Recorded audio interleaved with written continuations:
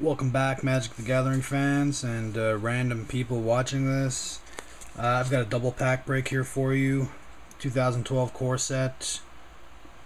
Six card booster pack. Stupidest product ever put out by Wizards of the Coast.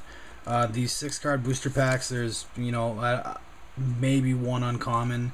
Not sure if there's even a possibility of getting a rare or a foil or uh, a mythic. So I'm really not holding out any hope for this. I was just standing in line at Walmart and I figured why not buy a couple packs and break them just out of curiosity. Stupid product. Uh, yeah, I won't get into it, but anyway. My apologies for the fan in the background, if you can hear that. Uh, it's really hot here tonight, so I'm not turning it off. Anyway, pack number one.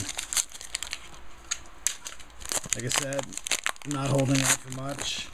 And yes, they have gone through the trouble of putting a security device in a pack of $2.50 cards. Rampant Growth, nice little card. Unsummon, nice card. Lurking Crocodile. There you go. Oh, an uncommon. Scepter of Empires.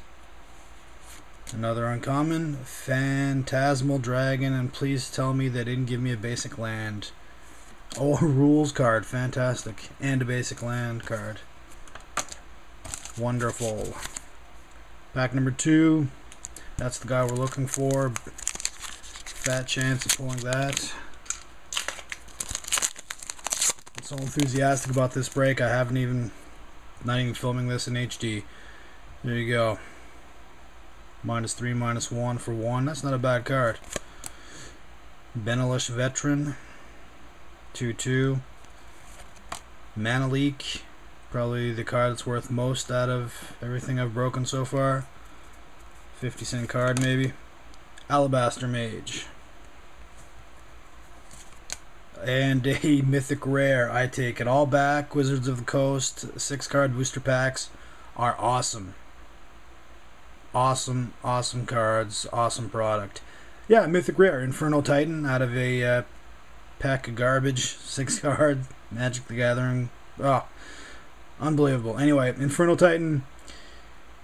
Not the uh, not the greatest Titan, but uh, you know what? Can't complain. Like I said, not expecting much out of this. Rules and a basic land, which I now love because I pulled a mythic rare out of a pack of garbage cards.